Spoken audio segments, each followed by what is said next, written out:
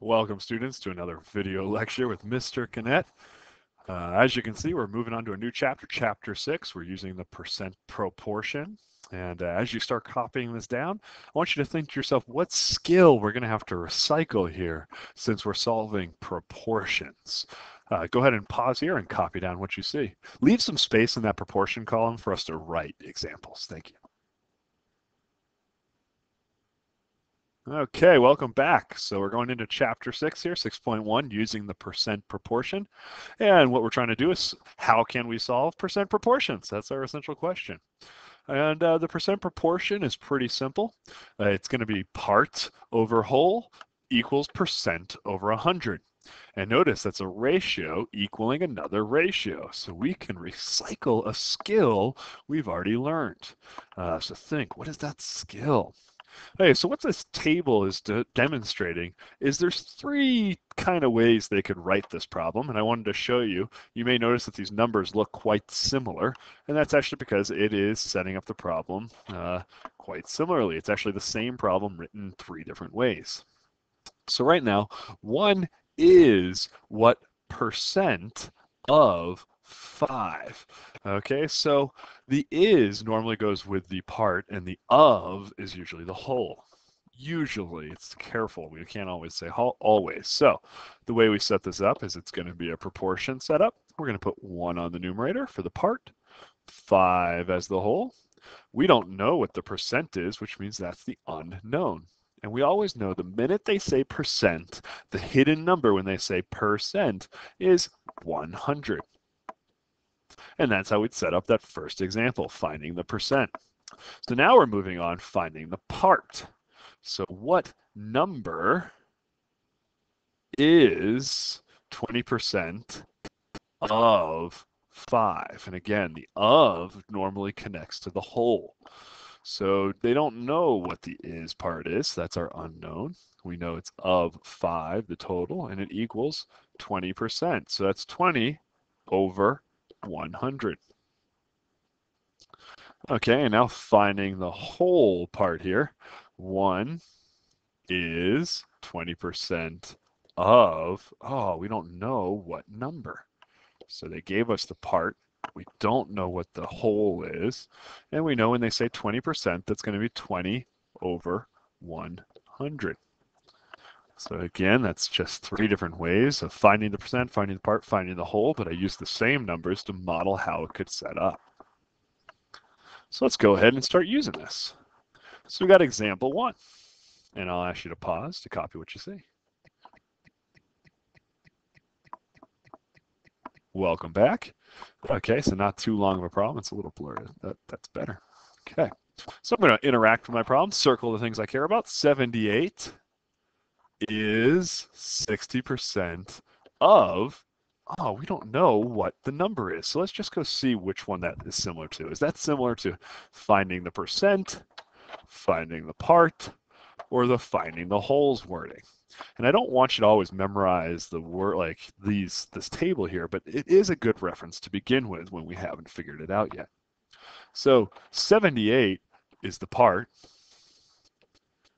of normally connects to the whole, and there's no number there. So that has to be an x equals 60 over 100. And uh, we set the problem up, and I don't want to ruin that skill we're going to recycle here. So I'm going to leave it at that, and we'll solve that problem in class. And we're going to move on to example two here. Uh, pause once again and copy down what you see.